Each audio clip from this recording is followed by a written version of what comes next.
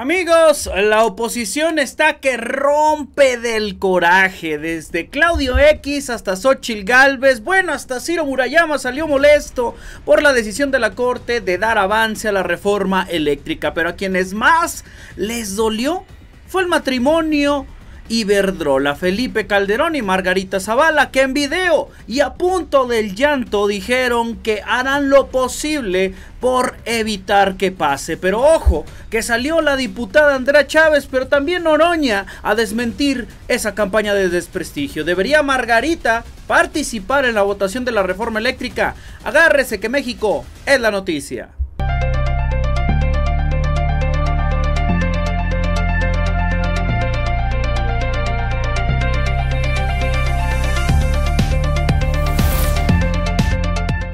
Bienvenidos, gracias por su apoyo, un abrazo y un saludo para todos ustedes. Mi nombre es Víctor Rialpando, gracias por acompañarme en una emisión más aquí a través de México es la noticia. Antes de iniciar te voy a pedir que me ayudes apretándole la manita arriba, que te suscribas y que le aprietes a la campanita para que YouTube apoye a estas voces independientes. De igual manera agradecer a todos aquellos que ya lo están haciendo. Vámonos con la información, señores y señores, el coraje que hizo el matrimonio Iberdrola. Así es, Margarita Zavala sacó un video al igual que su esposo ya se quejó en Twitter y comenzaron las descalificaciones y la campaña contra la reforma eléctrica. Vamos a ver parte de lo que eh, incluso se preguntaba eh, Álvaro Delgado, el periodista, que señala, será interesante observar si Margarita Zavala, la diputada Iberdrola, se excusa de votar la reforma eléctrica porque tiene un conflicto de interés como esposa de quien cobró 8 millones de pesos como empleado de esa empresa, Felipe Calderón. Y mire, el matrimonio Iberdrola anda muy enfurecido, esto dijo Felipe Calderón. De hecho, la mayoría de la Suprema Corte de Justicia dijo que la ley es inconstitucional. Lo que ocurre es que para invalidar una ley de forma total en específico se requiere mayoría calificada y para eso faltó un voto. Si llegara un amparo contra la ley a la Corte concederán a favor del particular. Sin embargo, pues la señora salió muy molesta y eh, pues una vez más cantinfleando sacó un video que de seguro practicó mucho para decirlo y que le pongo a continuación. Después de esto le pongo la respuesta que le dio la diputada Andrea Chávez. Estoy a favor de las energías renovables y a favor del medio ambiente. Estoy a favor de que las industrias tengan energía abundante y limpia para producir más. Estoy a favor de que todos los hogares tengan electricidad a precios accesibles. Estoy a favor de que México tenga energía para crecer. Por todo ello, voy a votar en contra de la ley Bartlett, la engañosamente llamada reforma eléctrica, porque propone producir electricidad con carbón y petróleo sin importar el enorme daño al medio ambiente. Voto en contra porque no tiene sustento económico ni técnico. Está hecha al aventón, porque obedece al encono y al capricho ideológico de una sola persona. Voto en contra porque pone en riesgo nuestra soberanía, ya que nos quedaríamos sin electricidad para el futuro. Voto en contra porque quiere darle todo el poder a un grupo hipócrita y corrupto que se comporta como si la CFE, Pemex y todo el gobierno fueran su negocio. Voto en contra porque tú y tu familia terminarían pagando más por la luz y sufriendo apagones constantes. De mi parte, no hay ni habrá duda.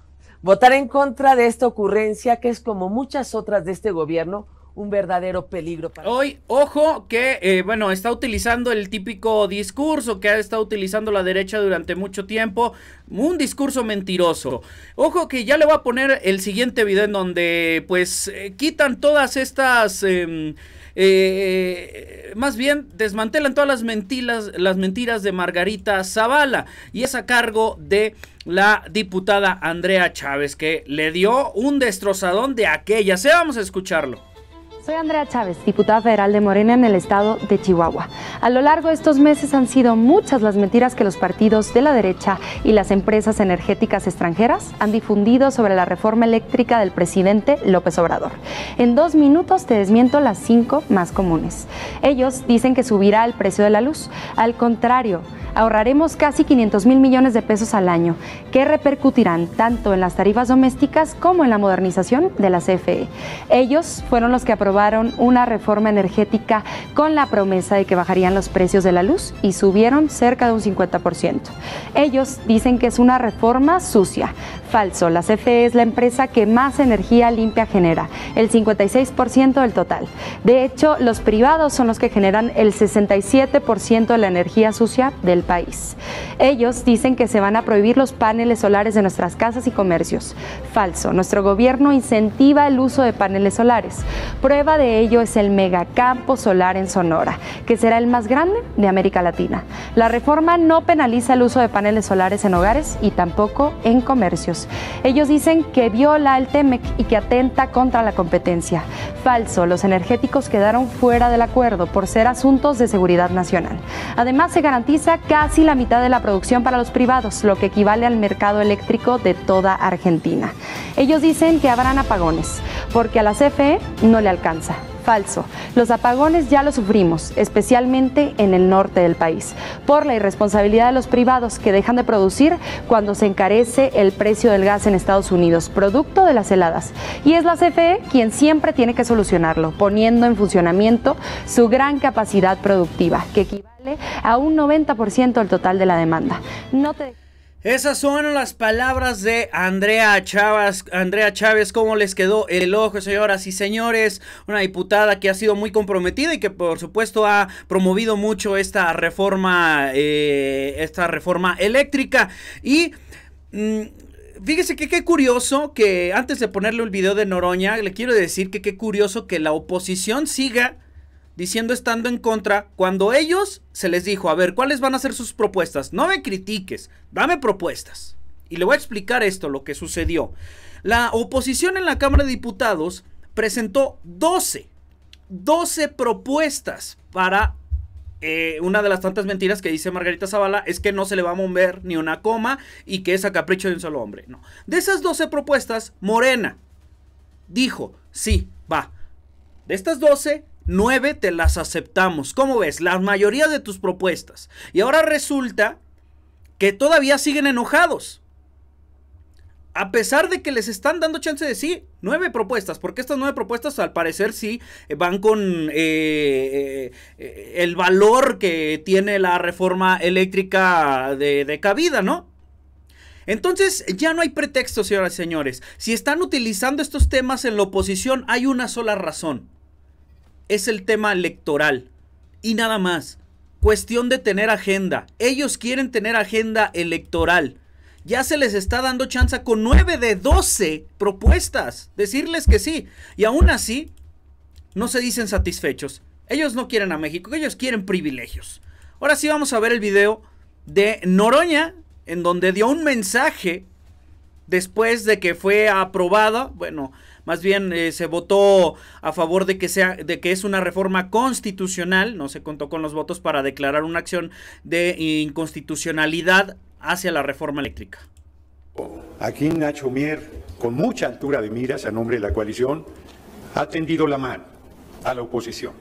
Ha dicho que sí a la esencia de su pronunciamiento público cuando decían que no queríamos cambiarle ni una coma a la iniciativa enviada por el compañero presidente López Obrador.